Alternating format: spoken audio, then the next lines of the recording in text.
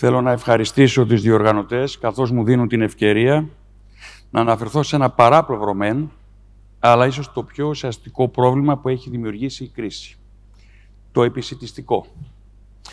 Ένα πρόβλημα που συνδέεται άμεσα με τον πρωτογενή τομέα, τη σημασία και αξία του οποίου πολλοί έθεταν σε δεύτερη μοίρα μέχρι σήμερα. Είναι προφανές ότι η κρίση που βιώνουμε είναι πρωτόγνωρη. Όμοιά της δεν έχει ζήσει η παγκόσμια κοινότητα από τον Δεύτερο Παγκόσμιο Πόλεμο και μετά. Η επικινδυνότητα της κρίσης που βιώνουμε έγκυται στο πολυεπίπεδο της χαρακτήρα, υγειονομική, μεταναστευτική, ενεργειακή, κλιματική, γεωστρατηγική, αλλά και στη διάρκεια της. Ε, παραδείγματι, κανείς δεν μπορεί να προβλέψει ούτε τη διάρκεια του πολέμου στην Ουκρανία και ζητήματα που χθες θεωρούνται δεδομένα, όπως η επισητιστική επάρκεια στον δυτικό κόσμο, σήμερα έχουν τεθεί υπό αμφισβήτηση. Το μεγάλο διακύβευμα από την πρώτη στιγμή της εισβολής της Ρωσίας στην Ουκρανία ήταν η παγκόσμια επισητιστική επάρκεια. Για να γίνει αντιληπτό το πρόβλημα, αρκεί να σκεφτεί κανείς ότι η Ρωσία και η Ουκρανία παράγουν περίπου τους 111 από τους 761 εκατομμύρια τόνους παγκόσμιας παραγωγής σιτηρών. Η Ρωσία το 2021 εξήγαγε το 43,4% της παραγωγής της, ενώ η Ουκρανία το 72,2% της παραγωγής της. Σχεδόν 50 χώρες εξαρτώνται από τη Ρωσία και την Ουκρανία για τουλάχιστον το 30% των αναγκών τους σε σιτάρι, εκ των οποίων 26 χώρες εξαρτώνται περισσότερο από 50%.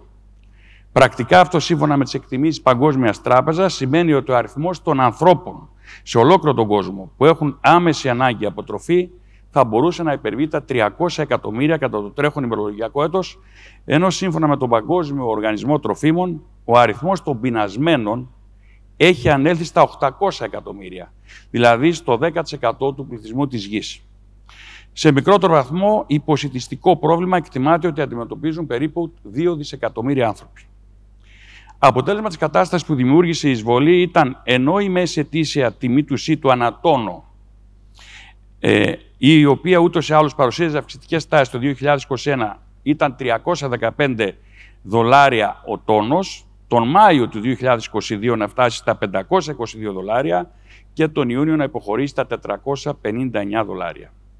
Ήδη και πριν από την κρίση η κατάσταση ήταν επιβαρημένη. Ο πλανήτης χρειαζόταν ήδη περισσότερα τρόφιμα για να τραφεί ο παγκόσμιος πληθυσμός. Μετά την ενεργειακή κρίση και την εισβολή της Ρωσίας στην Ουκρανία, η ανάγκη για παραγωγή περισσότερων ποσοτήτων τροφίμων έχει μεγιστοποιηθεί.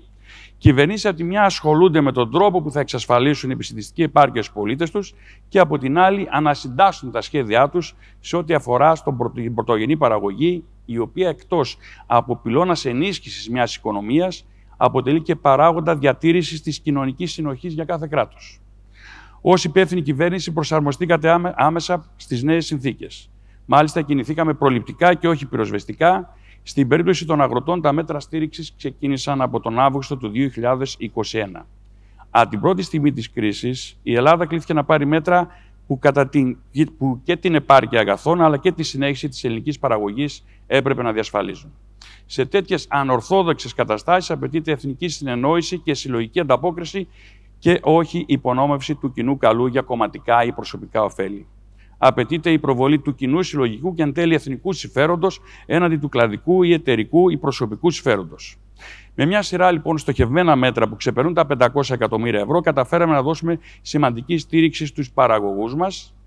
Παράλληλα, οι αγρότες μας ωφελήθηκαν από το σύνολο των μέτρων για το γενικό πληθυσμό που ξεπέρασαν τα 10 δισεκατομμύρια ευρώ. Για να διασφαλίσουμε λοιπόν την επιστημιστική επάρκεια, έχουμε λάβει σειρά μέτρων σε συνεννόηση πολλά από αυτά, βεβαίως και με την Ευρωπαϊκή Επιτροπή. Ενδεικτικά αναφέρω εντάσσονται στις συνδεδεμένες ενισχύσεις μαλακός σιτάρι και αραβόσιτος και διατηρούνται συνδεδεμένες στα ψυχανθή, στα κτηνοτροφικά και στα σανοδοτικά. Δίνεται η δυνατότητα καλλιέργειας, αυτό ισχύει σε όλη την Ευρωπαϊκή Ένωση, καλλιέργειας σε εκτάσεις ενταγμένες στο πρόγραμμα αγρανάπαυσης, χωρίς απώλεια των πλεονεκτημάτων του προγράμματος. Και επίσης γίνεται καταγραφή αναπενθήμερο των αποθεμάτων όλων των επιχειρήσεων τροφοδοσίας του επιστημιστικού κλάδου με στόχο την αποφυγή της εσχροκέρδειας. Οι παρεμβάσεις για την άβληση των επιπτώσεων από την αύξηση του κόστους παραγωγής και τη διασφάλιση της επιστημιστικής επάρκειας δεν είναι μεμονωμένες, κινούνται παράλληλα με την εφαρμογή της νέας ΚΑΠ. Μόνο έτσι Ε, σε επικεφαλίδες να αναφέρω ότι υπάρχει σε εξέλιξη το μεγαλύτερο πρόγραμμα νέων αγροτών 525 εκατομμυρίων ευρώ, το μεγαλύτερο πρόγραμμα βιολογικής γεωργίας και κτηνοτροφίας 705 εκατομμυρίων ευρώ, ενώ φροντίζουμε να δημιουργούμε και τις υποδομές μέσα από έργα άδρευσης με το είδωρ 2.0 προπολογισμού 1,8 δισεκατομμύρια ευρώ που αναμένεται να κινητοποιήσουν για τη λειτουργία τους πόρους 4,5 δισεκατομμύρια ευρώ. Σε όλα αυτά πρέπει να προσθεθεί η συνεννόηση με όλα τα κράτη-μέλη, έτσι ώστε και οι στόχοι της νέας ΚΑΠ σε σχέση με την σύγκληση, με την πράσινη μετάβαση, να μην αφαιθούν, να μην μείνουν πίσω, αλλά ταυτόχρονα και την αύξηση της παραγωγής, όπου αυτό κρίνεται αναγκαίο, να την επιτύχουμε, γιατί δεν τίθεται θέμα επισητιστικής βεβαίως επάρκειας στην Ευρώπη. Η Ευρώπη είναι αυτάρκης.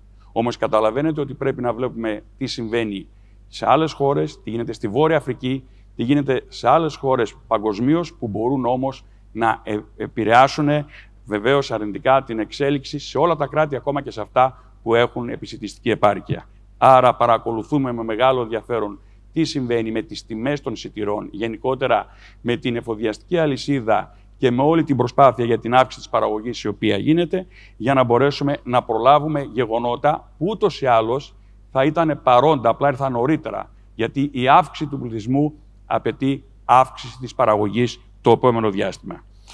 Κλείνοντας, θέλω να πω ότι στόχος μας είναι βεβαίως η ενίσχυση της αγροτικής παραγωγής, ταυτόχρονα η βιώσιμη ανάπτυξη και η στήριξη της ελληνικής οικονομίας. Εδώ έρχονται η τεχνολογία, έρχεται η επιστήμη να βοηθήσει και στην μείωση του κόστους παραγωγής, με διάφορες παρεμβάσεις, οι οποίες μπορούν και γίνονται και για τις οποίες η Ελλάδα ήδη τις υιοθετεί, αλλά ταυτόχρονα να δούμε με βάση και την κλιματική αλλαγή ποιες καλλιέργειες μπορεί να είναι πιο ανθεκτικές, ποιες χρειάζονται λιγότερο νερό, σε ποιες πρέπει να προσαρμοστούμε στις νέες συνθήκες οι οποίες έχουν πλέον διαμορφωθεί. Είναι ένα στίχημα αυτό. Και από τη μία να διατηρηθεί η ισορροπία την οποία επιδιώκουμε, αλλά και να έχουμε και την αύξηση της παραγωγής την οποία επίσης θέλουμε. Αλλά είναι στόχοι οι οποίοι μπορούν να επιτευχθούν και όλα αυτά κατά βάση σε συνεννόηση εντός του ευρωπαϊκού πλαισίου, αλλά και σε παγκόσμιο επίπεδο όπου αυτό απαιτείται. Σας ευχαριστώ πολύ.